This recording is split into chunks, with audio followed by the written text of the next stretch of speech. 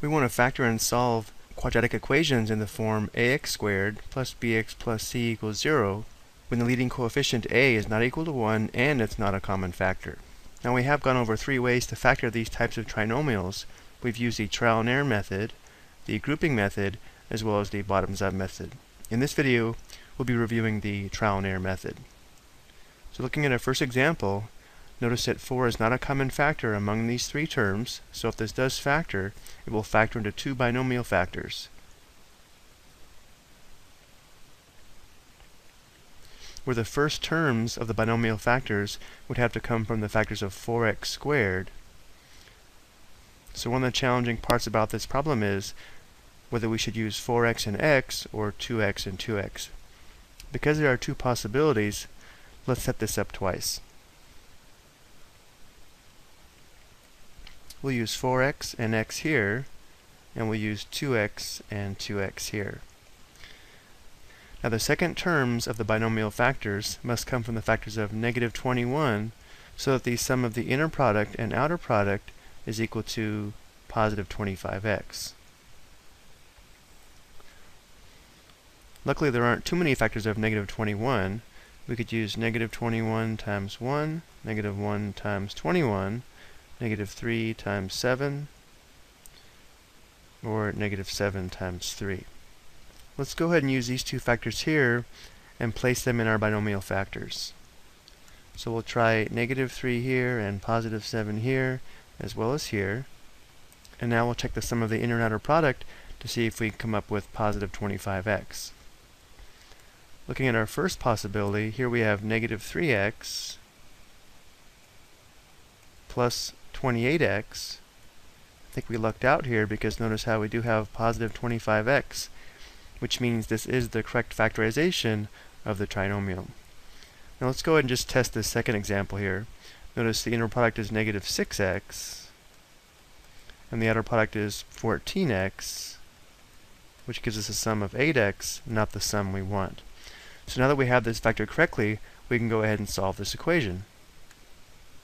Because we have a product equal to 0, the first factor of 4x minus 3 must equal 0, or the second factor of x plus 7 must equal 0. And now we'll solve these two equations for x to determine our solutions. So here we would add 3 to both sides. So we'd have 4x equals 3. Divide both sides by 4. We have x equals positive 3 fourths. And then for our second equation, we would subtract 7 on both sides.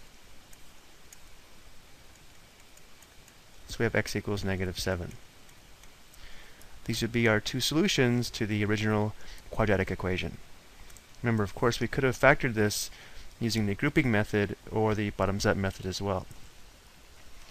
Now looking at our second example, again notice that 3 is not a common factor among our terms.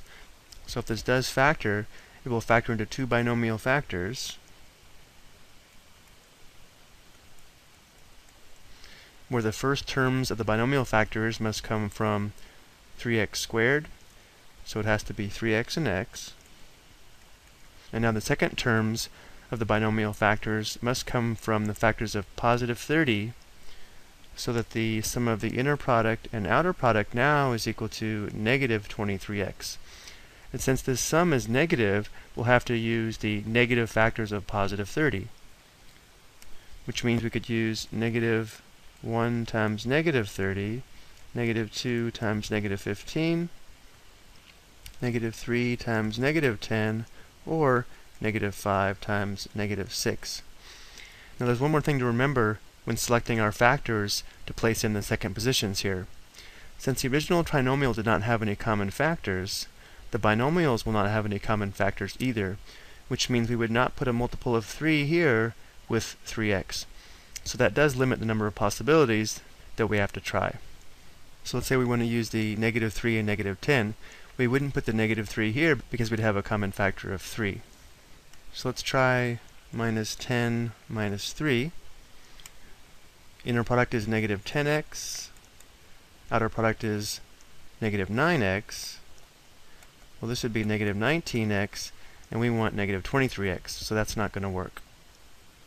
So let's try something else.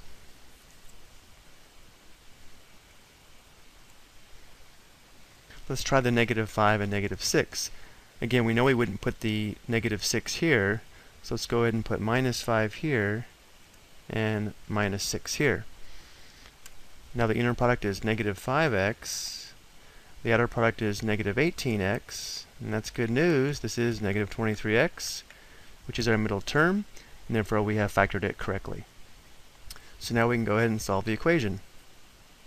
Since this product is equal to 0, either the first factor of 3x minus 5 must equal 0, or the factor of x minus 6 must equal 0.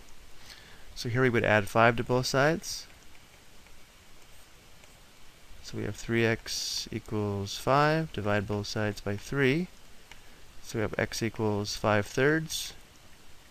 Or, here we would add 6 to both sides. We have x equals 6. Okay, so I hope these two examples were helpful.